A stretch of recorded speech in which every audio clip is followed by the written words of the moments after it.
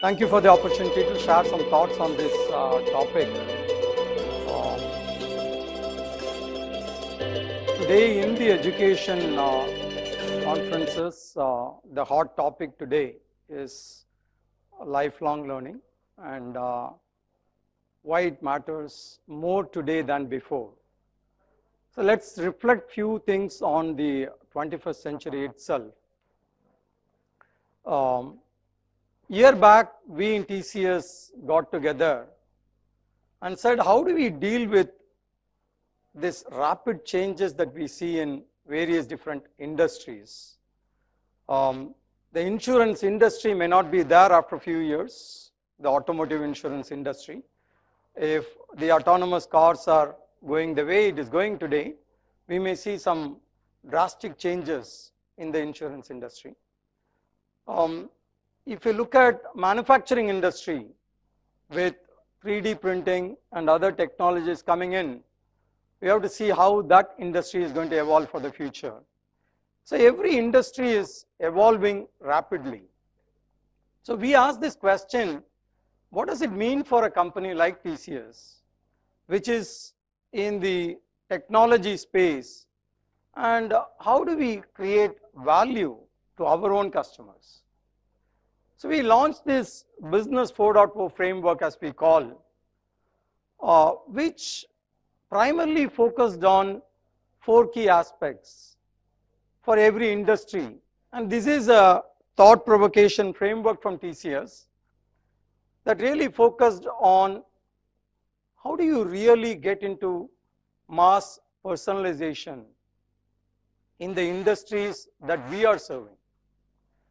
You know, many years back when we talked about personalization, we talked about personalization for a segment. We talked about personalization for a K to 12 segment. We talked about personalization for a higher education segment and so on and so forth. But it really moved on to personalization at an individual level, right? But if you actually observe today several examples, personalization is gone beyond the individual level. What does a child do in the morning versus the child does in the evening varies and how do you interact with the child in the morning and evening has to change.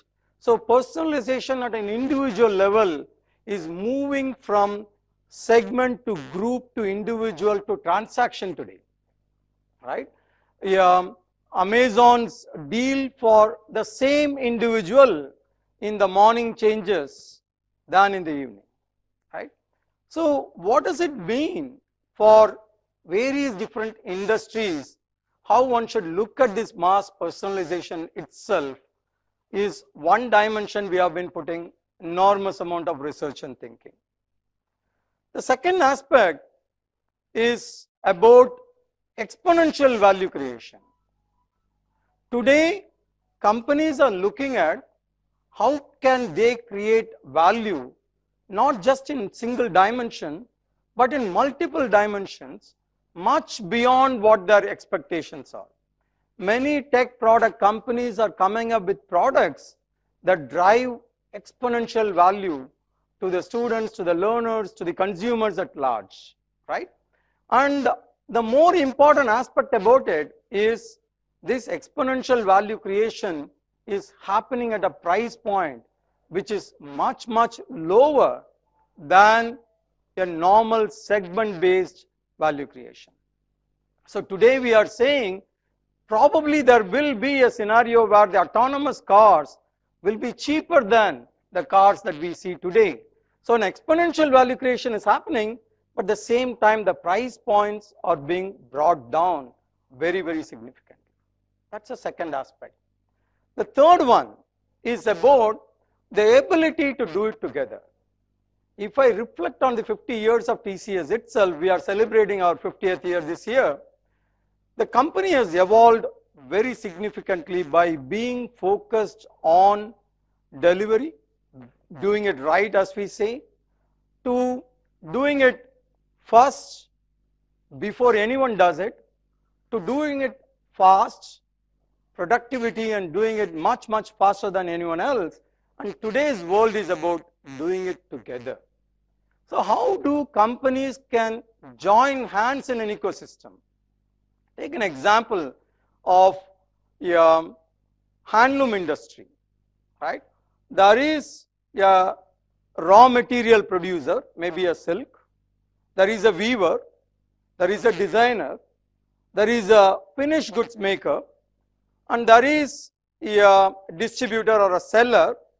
And we are all consumers as buyers. Now, the ability for various different companies in these uh-huh. domains coming together in order to drive value is going to dramatically change how an industry is going to create value for the consumers. So the third thing that we have been focusing on is to deliver an ecosystem driven value rather than an individual companies doing many things, many companies collaborating together and creating value for the consumer. And the fourth one is about embracing risk. Companies today are saying, I'm willing to embrace risk and I will look forward to the return because of these characteristics of embracing risk. Now, the 21st century companies have these characteristics in it. They clearly focus on mass personalization. They look for exponential value creation at very, very low price points. They focus on an ecosystem driven business models and they embrace risk and look for the returns that it can give for them. So the 21st century companies are changing dramatically, whether it is in the education space or otherwise, one has to accept, acknowledge and be prepared to embrace this change that we see here. Now let's look at the learning component of it. These companies look for very different type of talent. As we say, many of the students, many of the jobs for which we are preparing the students today does not exist at all. We have to recognize this fact. Institutions have to recognize this fact. Teachers and professors have to adopt this change that we see in the industry itself. So what learning what changes that we have to bring in the learning are very different. So in TCS, we have been asking this question, what we do in learning is, is not really um, a well-known fact in the industry. We started with um, assessment as a platform. Today we do large-scale assessments in the country. Many of the educationists here will know that whether it is a JEE exam, whether it is a GATE exam, whether it is um, uh, medical exams, all of them are running on this technology platform that we launched eight years before. And we have been asking, what is the practices, what is the set of practices that we can bring in in the learning process itself? Let me give you a few examples to illustrate that. For a long time, we have been asking, why learn and assess? Why not we flip it to assess and learn. Now, the general model that we are all aware of is to make sure that children go to a class, learn, at the end of the month or at the end of the term, there is an assessment and they get assessed on how much score they got from the learning that they did. Now, think of flipping it, right? Children go to a term, assess themselves through a large amount of analytics and intelligence if we can tell the child or if we can tell the teacher or the parent on what are the areas where the children is doing well and what are the areas that the children lacks using a very powerful analytic solution this learning or teaching can be more narrow can be personalized for the child than before. It's a good example of what mass personalization can do for the child. Take another example. Now, we all know there is a large debate about um, MOOCs and uh, completion percentage, lot of discussions and debates happening in the public uh, media. Now, the fact is, we all know learning by doing is a much better approach than learning through a digital mechanism or learning in the classroom itself. But ask this question, what we are doing about it, right? One of the thinking that we had is to introduce this term called phygital learning, right? Now, digital learning has a definitive set of advantages. You want scale, you want speed, you want reach, digital definitely helps, right? Physical does not help in those areas.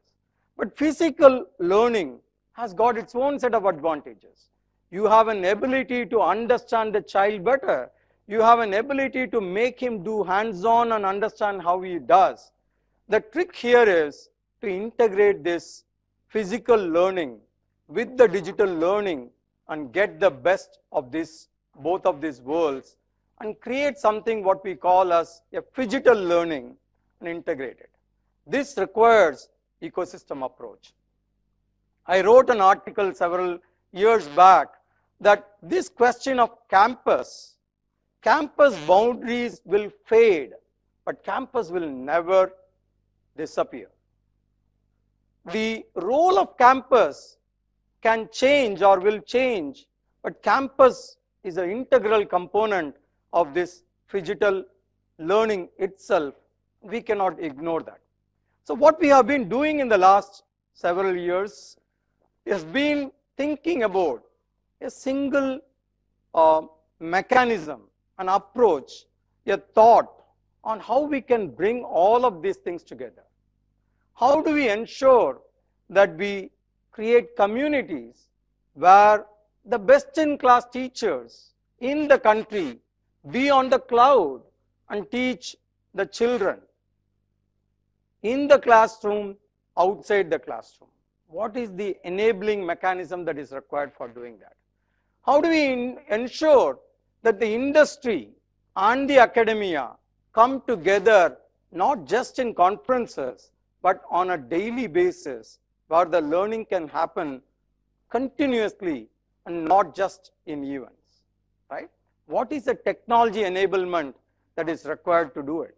How do we ensure that we do on demand live lecture, not through going through enormous amount of pain to bring in an author. We in TCS today work with various different colleges where live lectures come from a TCS office into the classroom of an higher education institution. How do we enable technology to achieve this? How do we integrate hands-on? Now, all of us know if I'm going to give a book to a student and say, read this and you will learn how to drive a car. It's not going to happen. If you're going to give a book and say, learn this book, it's available on a digital medium, and you will learn how to do welding. It's not going to happen, right? There are many such trades that requires much stronger physical interventions. Why do we fail in creating powerful students out of these ITIs? Why do we fail, right? It is because of this lack of understanding of how do we integrate this physical and digital mediums. So what we said is, good welder may be in Delhi or in Chennai, a, a student who is learning welding maybe in, maybe in Manipur, but if we can bring both of them together where he does welding and the assessment happens in Chennai because this entire welding happens on a camera, say for example. And then we bring in interventions to him on what he should do.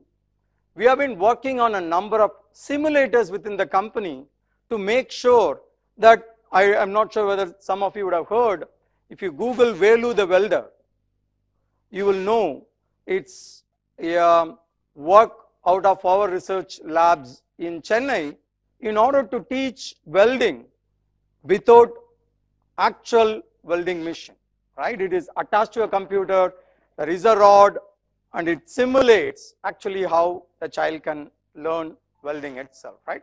Now we are focused a lot on handloom industry. We are focusing a lot on agriculture, right? How do we teach children in that space or, or students in that space itself? So the method is to build hands-on and see from a digital medium to a physical medium, how do you travel all the way to a physical medium to teach children itself. Many other methods can be put together a debate for children to participate. I'm sure all of you will accept that when children are in a classroom, in a group, the peer group learns much better than a teacher to a student relationship. The teacher to a student relationship is important. It has to do the job of provocation and then the students can learn from each other. Now we are focused more on how do you do group assignments? How do you bring children together in a group and asking them to do assignments in a digital medium? How do you ensure that we set up debates? How do we ensure that we create the enthusiasm for children to do blogs? How do we ensure that when there is a question, the children gets up and goes and answers some other children's to answer or some other children's question itself. These mechanisms, what we call as learning interventions, has got a huge potential. And that brings us to the topic of how do we make these things lifelong? One of the questions that we asked a few years back, is there an opportunity for us to teach the child in the womb? How do we communicate with the child in the womb? Few weeks back, there was a question in one of the conferences that one of them asked me is, is TCS keen to look at adults who have completed their work life? Because one of the biggest challenges in countries like Japan and, uh, and Singapore is the aging population. And how do you deal with that? We believe there is an opportunity to truly make this learning or education lifelong from the womb to adults who are going through a retired life itself. And I believe in order to do that, we have to bring in different set of constructs. The construct could be an assessment based learning. The construct could be a live chat. The construct could be a video based learning. The construct could be a community based learning. The construct could be a, a provocation or a debate being set up for the children at large. So today we in TCS have evolved more than 30 different learning interventions that can be brought together on a single umbrella by which educationists like you can innovate which tool in which context, in which scenario for which child can be administered not just in a static fashion but on a continuous dynamic fashion. And that's the approach that we have taken. We believe this opens up a very new large opportunity for personalizing, for creating exponential value, for building, working with a large number of ecosystem players, and also take very calculative risk and look for returns in this industry. Thank you very much for the opportunity to share a few thoughts.